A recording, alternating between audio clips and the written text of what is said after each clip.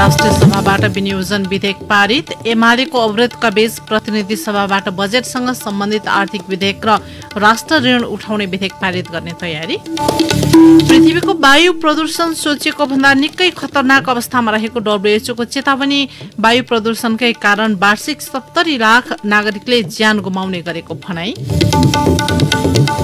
र Everest premier league खेल्न Pakistani cricketer शहीद अफ्रिदी नेपाल आउँदै।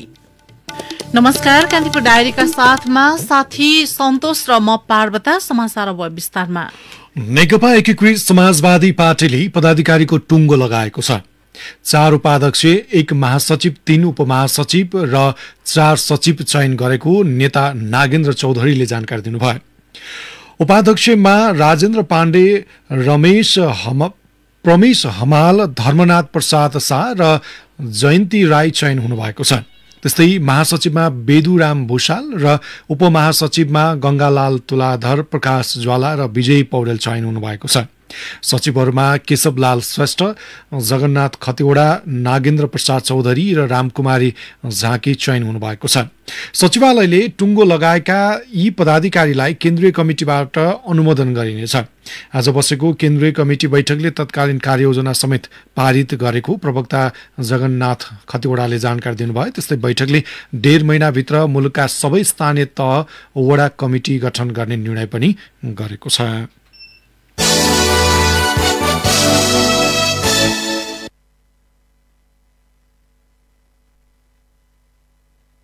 राष्ट्रिय सभाको आज बसेको बैठकले प्रतिनिधि सभाबाट सन्देशसहित पठाइएको विनियोजन विधेयक दुई हजार अठहत्तरलाई बहुमतले पारित गरेको छ। बैठकमा अर्थमन्त्री जनार्दन शर्माले प्रतिनिधि सभाबाट सन्देशसहित पठाइएको विनियोजन विधेयक दुई हजार अठहत्तरलाई पारित गरियोस् भनी प्रस्ताव प्रस्तुत गर्नुभएको थियो। त्यस्तै राष्ट्र ऋण उठाउने विधेयक दुई हजार अठहत्तरमाथि दफावार छलफल गरियोस् भन्ने प्रस्ताव पनि अर्थमन्त्री शर्माले प्रस्तुत गर्नुभएको थियो तर राष्ट्रिय सभामा छलफलका लागि कुनै पनि सांसदले नाम टिपाएका थिएनन्। प्रतिनिधि सभाबाट सन्देशसहित प्राप्त भएको विधेयक राष्ट्रिय सभाबाट पास भएको अध्यक्ष तिमल सिन्हाले जानकारी गराउनु भएको थियो। राष्ट्रिय सभाबाट पास भएको विनियोजन विधेयक जस्ताको त्यस्तै सन्देशसहित फिर्ता प्रतिनिधि सभामा आउनेछ। त्यसपछि सभामुख अग्निप्रसाद सापकोटाले प्रतिनिधि सभामा राष्ट्रिय सभाबाट प्राप्त सन्देश चुनाउनु हुनेछ। त्यसपछि सभामुखले प्रमाणीकरणका लागि हस्ताक्षर गरेर राष्ट्रपति कहाँ पठाउनुहुनेछ राष्ट्रपतिले आजै सो विधेयक प्रमाणीकरण गर्ने सम्भावना रहेको छ। विनियोजन विधेयक प्रमाणीकरण भएपछि सरकारलाई खर्च गर्ने बाटो खुल्नेछ। यसैबीच एमालेको अवरोधका बीच प्रतिनिधि सभाबाट बजेटसँग सम्बन्धित आर्थिक विधेयक र राष्ट्र ऋण उठाउने विधेयक पारित गर्ने तयारी छ।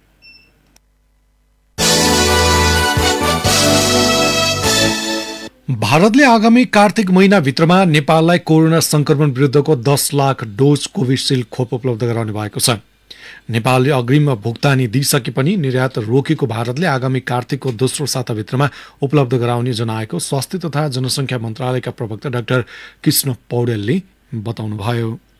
भारतबाट विशेष गरी सय करोड जति स्टक भएपछि चाहिँ हामी छिमेकी राष्ट्रहरूमा अथवा बाहिर निर्यात गर्छौँ भन्ने खालको कम्युनिकेसन सुनिएको छ र हामीले पाएको सूचना अनुसार अक्टोबर महिनासम्ममा नेपालमा ल्याउने हिसाबले चाहिँ सकारात्मक हिसाबले कुरा अगाडि बढेको सुनेका छौँ। छिटै पाउँछौँ भन्नेमा चाहिँ आशावादी छौँ। नेपालले बीस लाख डोज कोभिसिल्ड खोप खरिद गरे पनि आफ्नै मुलुकमा खोप अभाव भएको भन्दै भारतले दस लाख डोज मात्रा उपलब्ध गराएको थियो।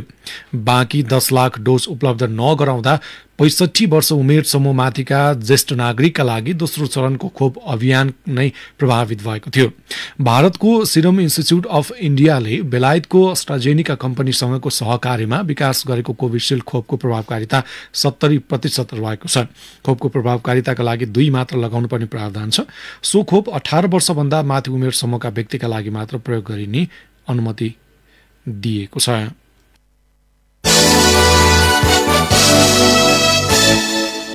कोविड संक्रमणका कारण रोक लगाइएको अनअराइभल भिजा खुला गरिएको छ। संस्कृति पर्यटन नागरिक उड्डयन मन्त्रालयका सहसचिव तारानाथ अधिकारीका अनुसार कोविडको पूर्ण खोप लगाइसकेका विदेशीले अब अनअराइभल भिजा पाउनेछन्। सरकारले विदेशबाट नेपाल आगमन हुने र नेपालबाट प्रस्थान गर्ने यात्रुहरूको यात्रा व्यवस्थापन सम्बन्धी आदेश जारी गर्दै भिसा खुला गरेको जनाएको छ। सरकारले दुई हजार चैतको पहिलो लकडाउनसँगै विदेशीलाई अनअराइभल भिजामा रोक लगाएको थियो। यो सँगै कोविड नाइन्टिन विरुद्धको खोपको मात्रा पूरा गरेको चौध दिन पूरा भएको नेपाल आउने उडानको लागि चेक इन हुनुभन्दा बहत्तर घण्टाभित्रको कोविड परीक्षणको रिपोर्ट नेगेटिभ भएको होटल बुक गरेका विदेशीले सजिलै नेपाल भ्रमण गर्न पाउनेछन्। तर नेपाल सरकारले विदेशी नागरिकको नेपालमा पुनः अध्यागमन प्रवेश बिन्दुमा एन्टिजेन परीक्षण गर्न सक्नेछ। यदि त्यस्तो परीक्षणबाट कोरोना पोजिटिभ देखिएमा अनिवार्य रूपमा स्वास्थ्य मन्त्रालयले तोकिएको आइसोलेसन वा अस्पताल मानिएको नभएसम्म बस्नुपर्ने सहसचिव अधिकारीले बताउनुभयो। सरकारले चाडपर्वलाई लक्षित गरी बजार अनुगमनलाई तीव्रता पार्ने भएको छ। जिल्ला प्रशासन कार्यालयको संयोजनमा सबै नियमनकारी निकाय सामेल हुने गरी आजदेखि अनुगमनका लागि काठमाडौँ उपत्यकाभित्र थप टोली खटाइने वाणिज्य आपूर्ति तथा उपभोक्ता हित संरक्षण विभागले जनाएको छ। जिल्ला प्रशासन कार्यालय वाणिज्य वाणिज्य खाद्य गुणस्तरदेखि औषधि विभागका प्रतिनिधिहरू सम्मिलित अनुगमन टोलीले आवश्यक अनुसार सहुलियत पसल सहित विभिन्न क्षेत्रको अनुगमन गर्नेछ। बजार अनुगमन प्रदेश सरकार र स्थानीय तहले पनि गर्ने विभागको दावी छ। काठमाडौँ महानगरपालिकाले पनि दैनिक अनुगमन गर्ने जनाएको छ।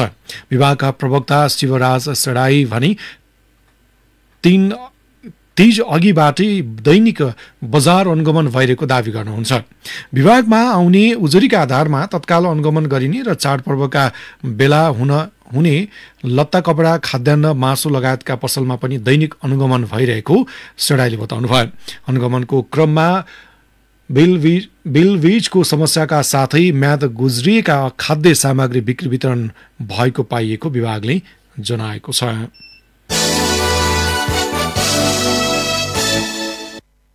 काठमाडौँ महानगरपालिकाले आगामी आइतबारदेखि भौतिक उपस्थितिमा विद्यालय खोल्नका लागि अनुमति दिएको छ। कोरोना संक्रमण जोखिम नियन्त्रणका लागि आवश्यक स्वास्थ्य सुरक्षा सम्बन्धी विभिन्न सत्ताइस बुद्धे मापदण्ड अपनाएर विद्यालय खोल्न दिने निर्णय भएको महानगरका शिक्षा विभाग प्रमुख रामप्रसाद सुवेदीले बताउनुभयो। विद्यालय सञ्चालन गर्न बालबालिकाको सम्पर्कमा हुने शिक्षक कर्मचारी चालक सहचालकसँगै विद्यालयको सरसफाई र सुरक्षामा खटिने सबैले कोविड नाइन्टिन विरूद्धको खोप अनिवार्य लगाएको हुनुपर्ने मापदण्ड तोकिएको छ। कसैले लगाउन नपाए पाएको भए महानगरले खोप लगाउने व्यवस्था गर्ने समेत जनाएको छ।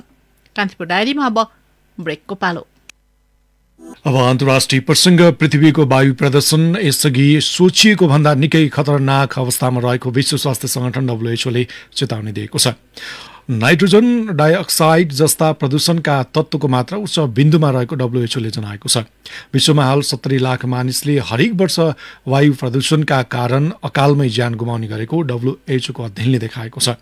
न्यून तथा मध्यम आय भएका मुलुकमा जैविक इन्धनको प्रयोगका कारण त्यहाँका वासी वायु प्रदूषणबाट बढी प्रभावित भएको पाइएको छ। हाल पृथ्वीको वायु धुमपान वा खराब खानाको असर भन्दा निकै माथि रहेको डब्लुएचओले उल्लेख गरेको छ।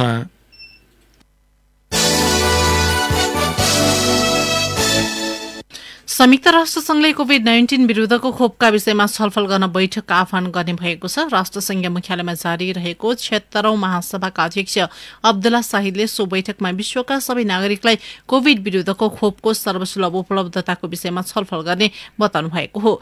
यस्तै दुई हजार बाइसका लागि खोपको सुनिश्चितताको विषयमा पनि घनीभूत छलफल गरिने बताइएको छ।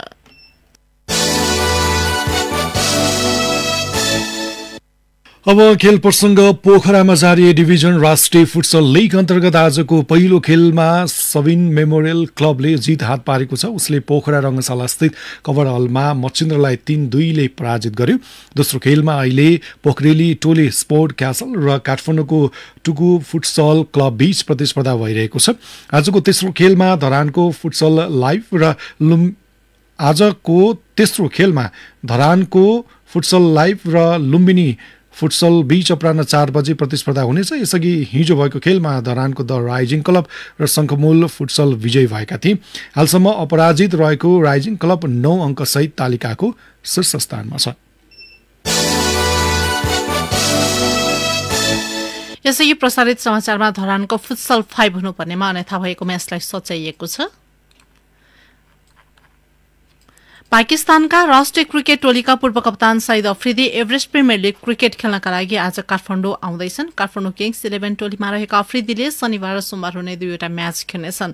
शनिबार उद्घाटन खेलमा काठमाडौँ किङ्स इलेभेनले ललितपुर पेट्रियटसँग र आइतबार विराटनगर वारियर्ससँग प्रतिस्पर्धा गर्नेछ। आगामी सोमबार पाकिस्तान फर्कने अफ्रिदीले काठमाडौँमा रहँदा राष्ट्रपति विद्यादेवी भण्डारीसँग समेत भेट गर्ने बताइएको छ। हवस् त यिनै प्रसङ्गसँगै कान्तिपुर डायरीको यो बुलेटिन यही सकिन्छ। चार बजे हेल्थ एन्ड एजुकेसन डायरी हुनेछ। साथी सन्तोष र म पार्वता आज्ञा माग्छौ। नमस्कार।